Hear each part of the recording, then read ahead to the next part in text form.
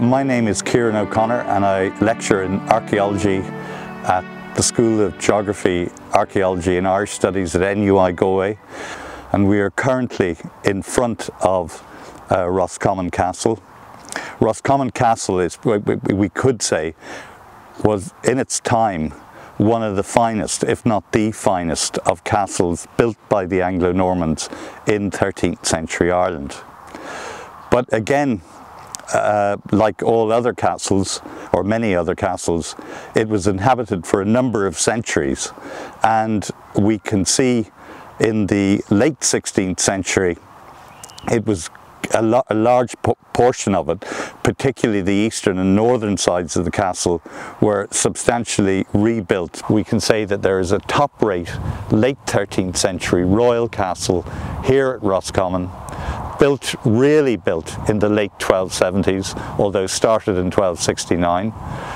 The raison d'etre for the castle is to basically keep Hugh O'Connor and the O'Connors under control something that ultimately doesn't work. And by 1360, the O'Connors, the descendants of Hugh O'Connor, if you like, have taken over the castle. And we have the O'Connors living here for 200 years.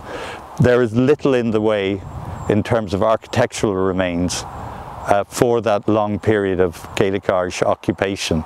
And this is something that we see at a number of Anglo-Norman castles. For example, Ballintubber around here, Greencastle in Donegal.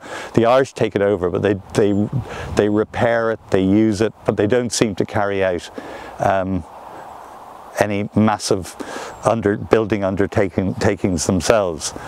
Now that, to me, when we look at the overall evidence is not because they're not able to do that or they don't have the wealth and know-how. They do, but it's just the way Gaelic society is organised. You know, things like, uh, you know, partible inheritance, things like that goes against uh, the, uh, the, the, the Irish putting big money into large secular buildings. With the gradual English reconquest of Ireland, Roscommon Castle, the O'Connors are, are more or less told to leave Roscommon Castle in 1569. They surrender it to Sir Henry Sidney and then in the late 1570s Roscommon is granted to Sir Nicholas Malby a you know, cavalry commander, administrator, new English conquistador, interesting man, ruthless man, and, it, and also he becomes governor of Connacht and he turns the northern half of the inner ward into a really massive fortified house.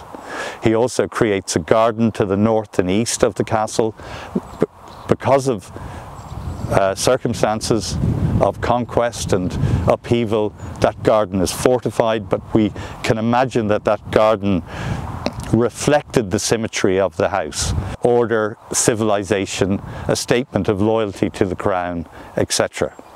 A number of people have worked here. Harold Leask, uh, Margaret Murphy, Dan Tietzsch-Tyler, Paul Naessens, myself, numerous others. What type of approach do we take? Well, we take what we call a kind of multidisciplinary approach, which is we look at uh, the architectural remains, try and work out phases. We look at the historical sources, a little bit of excavation, archaeological excavation, geophysical survey, looking at early maps. You know, th this, this, this is a, what we call a kind of interdisciplinary, um, multidisciplinary uh, approach. And by doing that, we come up with an idea how the castle functioned and how it developed over time.